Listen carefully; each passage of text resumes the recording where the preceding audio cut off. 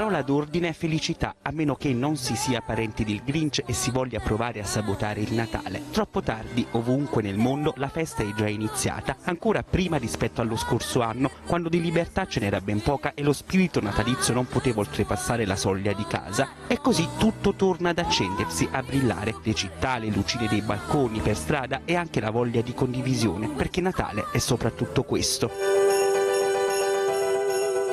Un irrefrenabile desiderio di feste che include tutti, pure le istituzioni. Eccoli i sommozzatori dei vigili del fuoco di Sassari che depositano sul fondo del mare di Stintino il presepe e le statuine di terracotta realizzate dagli alunni disabili di un istituto locale. E questo è il video d'auguri della Polizia di Stato, con gli agenti che decorano l'albero in compagnia dei bambini.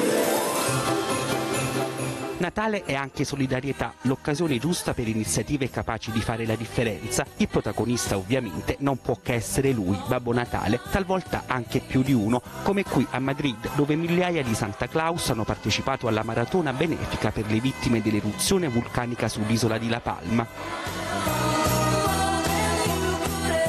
In sella una slitta volante, poi in barca, il Babbo Natale brasiliano ha già cominciato a portare i regali ai più piccoli. Molti, in particolare quelli dell'Amazzonia, non l'avevano mai visto e nemmeno avevano mai ricevuto un giocattolo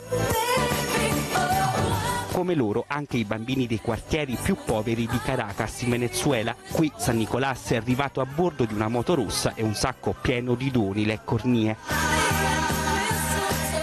Moto al posto delle slitte anche a Sofia, in Bulgaria. L'estate del centro è invase da una marea rossa per l'evento di beneficenza annuale a favore dei più bisognosi. Ma Babbo Natale non dimentica nessuno, eccolo nello zoo di Lima in Perù, giraffe, tigri, leoni, dromedari, tutti a Natale meritano un regalo.